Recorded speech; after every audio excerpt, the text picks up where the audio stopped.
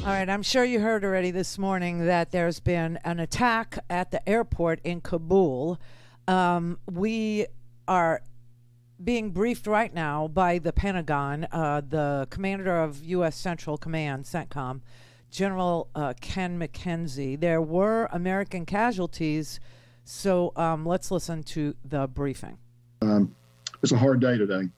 As you know, two suicide bombers, assessed to have been ISIS fighters, detonated in the vicinity of the Abbey Gate at Hamid Karzai International Airport and in the vicinity of the Baron Hotel, which is immediately adjacent.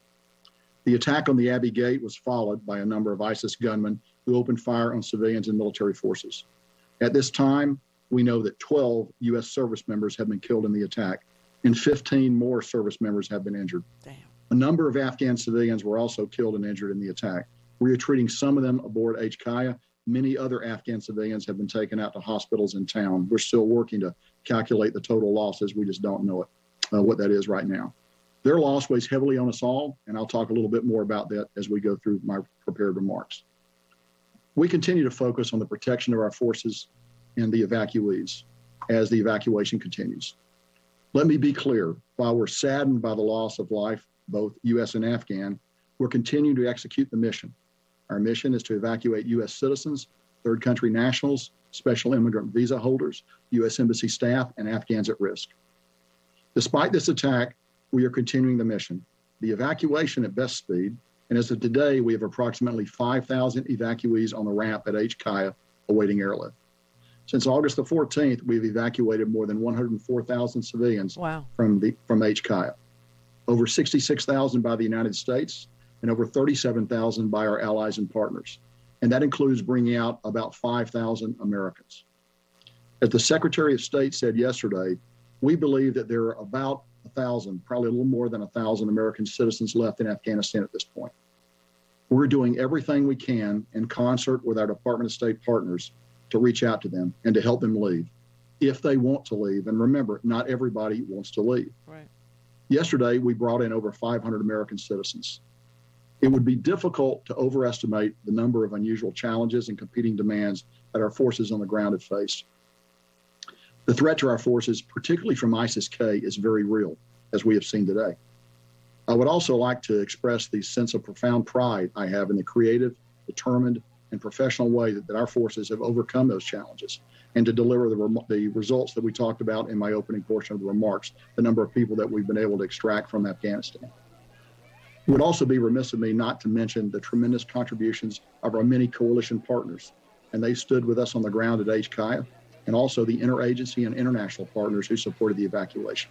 The many soldiers, sailors, airmen, Marines, and Coast Guardsmen who supported this operation downrange across the Central Command, the European Command, and the Northern Command areas of responsibility. Moreover, this evacuation could simply not have been done without the amazing flexibility of U.S. Transportation Command and the airlift provided by the United States Air Force. Yay. No other military in the world has anything like it. I'd also like to thank the host nations that have generously provided access to their facilities for the processing, the care, and the feeding of our evacuees. I also need to acknowledge the temporary suffering that some of our evacuees have had to endure. Please know that we continue to execute our number one mission, which is to get as many American citizens and other evacuees as possible out of Afghanistan. We also continue to expand the capacity at our intermediate facilities to ensure safe, sanitary, and humane conditions for our evacuees, while continuing to look for ultimate ways to expedite their processing and ultimate transfer to the United States or other destinations. I'd like to close out my remarks today by just taking a moment to describe the heroism that our Marines, soldiers, and sailors are exhibiting as they screen the people who are coming onto the airfield. This is close up work. The breath of the person you are searching is upon you. While we have Overwatch in place, we still have to touch the clothes of the person that's coming in. I think you all can appreciate the courage and the dedication that is necessary to do this job and to do it time after time. Please remember that we have screened over 104,000 people. Finally, I'd like to offer my profound condolences to the families of our servicemen and women and Afghan civilians who lost their lives today. We have put uh, more than 5,000 U.S. service members at risk to save as many civilians as we can. It's a noble mission, and today we have seen firsthand how dangerous that mission is. ISIS will not deter us from accomplishing the mission. I can assure you of that. All Americans can and should be proud of the men and women of the armed forces who are facing these dangers head on with their international partners and all our other friends that are with us. And we appreciate your thoughts and prayers for all our service members who are carrying on this mission today. John, I'm now ready to take questions.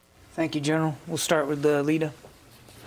Thank you. General McKenzie, uh, Lita Baldor with AP, thank you for uh, taking the time to do this. Um, can you give us your assessment of the ISIS threat going forward? What are you seeing on the ground now? Does this cut the evacuation short, do you believe? Um, and are people able to get onto uh, the airport now? And then finally, the president has warned that any attacks against the U.S. would be answered. Will this attack be answered mil- militarily by the U.S.? So, um, a number of questions there. Let me try to take them in order. So, first of all, the, the, threat from ISIS is extremely real. We've been talking about this for several days. We saw it actually manifest itself here in the last few hours with, an actual attack. We believe it is their desire to continue those attacks, and we expect those attacks to continue.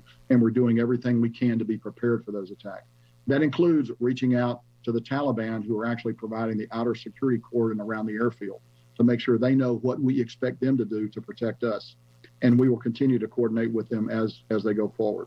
We are continuing to bring people onto the airfield. We just brought a number of buses of uh, uh, aboard the airfield over the last couple of three hours. So we continue to process. We'll continue to wow. float people out. Wow. The plan is designed to operate while under stress and under attack, and we will continue to do that. We will coordinate very carefully to make sure that it's safe for American citizens to come to the airfield. If it's not, we'll tell them to hold, and then we'll, you know, we'll work other ways to try to get them to the airfield. But I think our mission remains. We're still committed uh, to flowing people out up until we terminate operations at some point, you know, towards the end of the month. And but I think we have the ability uh, actually to do all of those things as we go forward. Uh, let me just come back one moment, uh, and, and, you talked about uh, going after ISIS yes, if we can find who's associated with this, we will go after them. We've been clear all along that we're going to retain the right to operate against ISIS in Afghanistan. And we are working very hard right now to determine attribution, to determine who is associated with this cowardly attack, and we're prepared to take action against them. 24 7, we are looking for them. Okay, so those are the main questions. Can we still evacuate uh, Americans? Yes. How many Americans are still in Afghanistan? He says approximately 1,000. Last night, 500 Americans were evacuated. 104,000 people have been processed by 5,000 American soldiers, airmen, well, not airmen, we're, we're up in the air. but uh, the Marines have processed um, 104,000 people. Um, we lost 12 Marines today, 15 wounded in an attack by a terrorist group that were in prison called ISIS K, who were let out of prison. How do we know that? We know that because the Taliban, who has an enormous amount on the line here today with regard to getting their assets unfrozen by Western governments, opening up their banks, making money flow into Afghanistan. The Taliban said that the threat was coming from ISIS K and that they had been in prison prior to the request by the United States to empty the prison of ISIS fighters. The Taliban are now saying that was one of their biggest mistakes to do that. And I think what you saw today happen is the beginning of the Afghan civil war between the Taliban and ISIS. Don't have time to listen to a live show? Want to hear more on your schedule? Go to randirhodes.com and buy a stinking podcast.